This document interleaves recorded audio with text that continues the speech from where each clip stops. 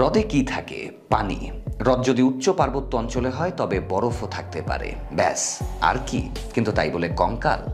হ্যাঁ তেমনই ঘটনা ঘটেছে ভারতের উত্তরখণ্ডের হিমালয় অঞ্চলে ত্রিশূল পর্বতমালায়। এই পর্বতমালায় রয়েছে একটি হ্রদ। এই হ্রদটিতেই পাওয়া গেছে কয়েকশো কঙ্কাল। লেকটির নাম রূপকুণ্ডু লেক।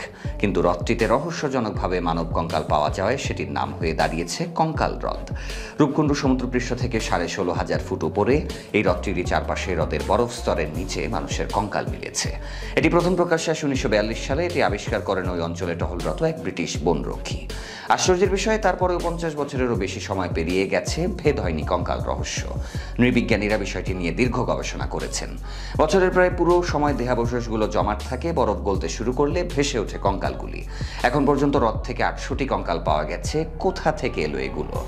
প্রাথমিকভাবে বিজ্ঞানীরা জানিয়েছিলেন, নবম শতাব্দীতে কোনো এক ভয়ঙ্কর দুর্ঘটনায় একসঙ্গে মারা গিয়েছিল। অজ্ঞাত, অপরিচিত এই মানুষগুলো। তবে পরের দিকে আরও কয়েক দফা গবেষণা করে জিনগত বিশ্লেষণ করে বিজ্ঞানীরা জানিয়েছেন, হ্রদে যে আটত্রিশটি দেহাবশেষ পাওয়া গেছে, তার কার্বন ডেটিং পরীক্ষা করে দেখা গিয়েছে, দেহাবশেষগুলো প্রায় এক হাজার দুশো বছর আগের এবং আলাদা ঘটনায় তাদের মৃত্যু হয়েছিল। গবেষণার প্রধান এডউইন হার্নি বলেন, রূপকুণ্ড লেক আসলে কি ঘটেছিল এখনও তা স্পষ্ট নয়, তবে মৃত্যুগুলি যে কোনো একটি ঘটনার জেরে ঘটে তা মনে করি না।